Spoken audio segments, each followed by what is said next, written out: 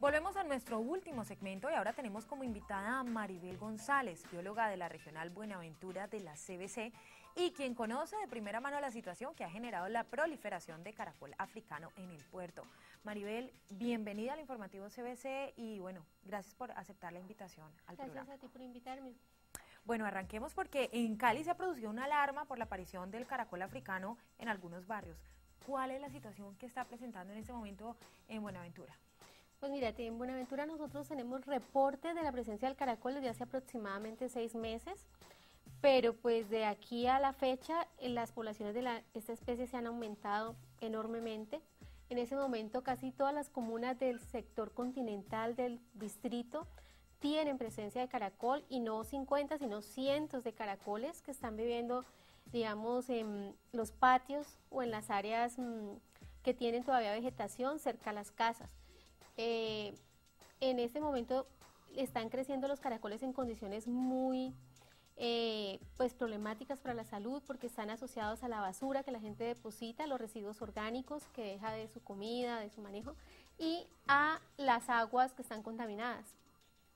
Bueno, pues si podemos sacar un momento uno de los caracoles para mostrárselos bien a las personas que están viendo en este momento el programa, para que puedan identificar cuál es el tipo de caracol y pues lo aconsejable, eh, bióloga, es no manipularlo. ¿Qué es lo que debe hacer una persona, por ejemplo, si encuentra uno de estos caracoles en, el jardín o en el patio de su casa? Pues mira, lo primero es que no debe manipularlo a mano limpia.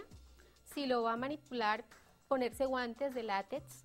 Eh, no usar o no, la baba del caracol para ningún tipo de manejo pues en la piel, no consumirlo y reportar a la CBC la presencia del caracol en el sitio de su comuna, de su barrio, en la calle específica donde se esté presente. Porque son tan peligrosos para la salud? O sea, bueno, estamos explicando que se están alimentando de los residuos, pero ¿qué es lo que hace que sea tóxico de pronto entrar en contacto con ellos? Mira, el caracol en ese momento tiene tres tipos de riesgos. Es una especie invasora, exótica, eso significa que no es de, de nuestro país, que no es de la zona tropical, es de origen africano y entonces significa que al entrar en contacto con las especies nuestras, eh, compite con ellas, con, otras eh, con otros caracoles mm, nativos y compite también porque consume las especies de flora nativa, incluso puede comer hasta heliconias y cultivos. Entonces, en ese sentido es un riesgo ambiental, es riesgo agrícola porque es una especie muy voraz en sus hábitos alimenticios y consume mucho verde, consume cultivos de todo tipo y flora nativa y es riesgo de salud porque él es un vector de un parásito que puede pasar a través del contacto con la mucosa, con la, con la baba de la secreción o con las heces fecales a los humanos y generar potencialmente enfermedades como la meningitis o enfermedades del tracto digestivo. O sea, enfermedades bastante delicadas. Correcto. Bueno, eh, bióloga, podemos girarlo un poco de pronto más para la cámara para que la gente eh, de donde, si quiere lo podemos girar un poquito, girarlo así para que se vean de pronto la parte de la caparazón, para que las personas puedan identificar, es, un, es una especie que trae como unas vetas en el caparazón. Correcto, míralas aquí, tienen unas franjas longitudinales de color más claro y de color pueden ser vino o marrón, ¿no? Que se ven perfectamente aquí, míralas.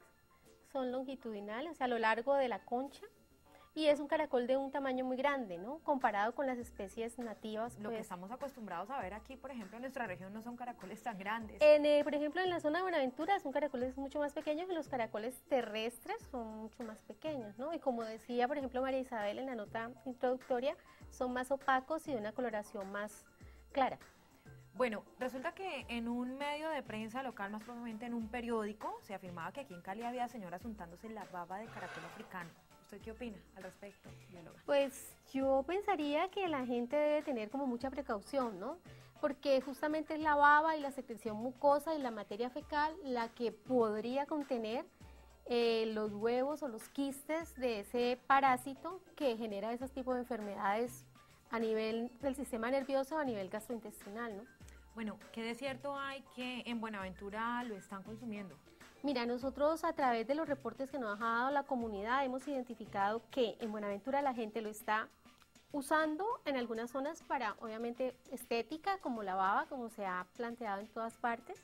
Se lo están comiendo, alguna gente lo ha consumido porque ha habido mucha desinformación al respecto, entonces se lo, lo, han comido, lo están usando para carnada, para la pesca, y alguna gente hasta lo está criando, pensando que se puede comer. Aunque se cocine bióloga, aunque de pronto lo utilicen pues los procedimientos más eh, elaborados pues para tratar de que sea algo limpio, que se pueda consumir después de la cocción, ¿sigue siendo peligroso?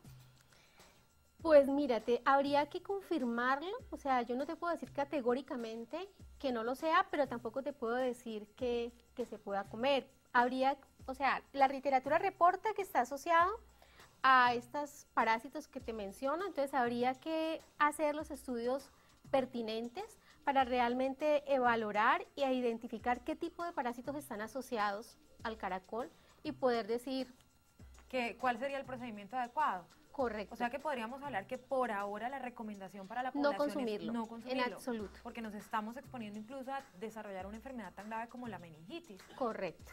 Bueno, ¿y cómo llega esta especie de caracol aquí a nuestra región? Pues la verdad es que pueden ser varias las, rutas en que ha llegado el caracol aquí a Colombia de las diferentes partes del mundo donde se ha introducido. O sea, puede haber sido a través del el comercio ilícito, digamos, es una especie que también la usan como mascota o para acuarios. Puede ser a través de huevos que estén en verduras mal lavadas o a través de tierra donde haya huevos.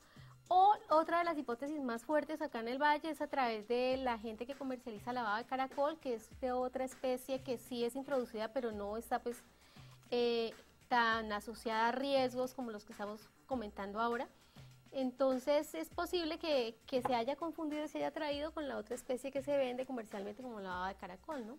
Bueno, bióloga, medidas que está tomando la CBC en zonas como Buenaventura que están siendo tan Pues mírate, nosotros en Buenaventura, pues siguiendo, digamos, el protocolo que, la resolución que ha mandado el ministerio, que todavía está en proyecto porque no es un oficial todavía, hemos constituido un comité con varias de las entidades que tienen, digamos, competencia en el asunto.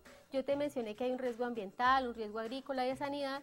Entonces, en ese comité tiene asiento el ICA, seccional Valle, ha estado con nosotros las dependencias de la alcaldía, Secretaría de Salud, la Secretaría de Desarrollo Rural y Agrícola, la UMATA, la Secretaría de Educación, también hemos convocado, la Unidad de Saneamiento Básico, eh, la Policía Ambiental, la Armada Nacional, con el objeto de que de poder nosotros establecer un plan de choque para la prevención, el manejo y el control de ese animal en el distrito de Naventura, que ahora es una emergencia pues bastante notable y que todo el mundo lo tiene manifiesto.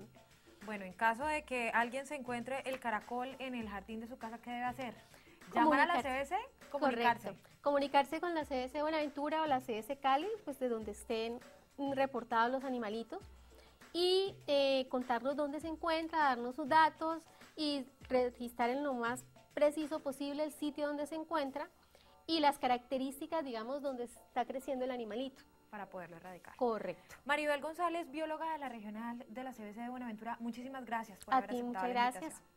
Bueno, a todos ustedes muchísimas gracias. Se nos ha acabado el tiempo por hoy. Agradecemos su compañía y recuerden que nos vemos el próximo martes a las 7 y 30 de la noche en el informativo CBC con toda la información del medio ambiente en el Valle del Cauca. Feliz noche.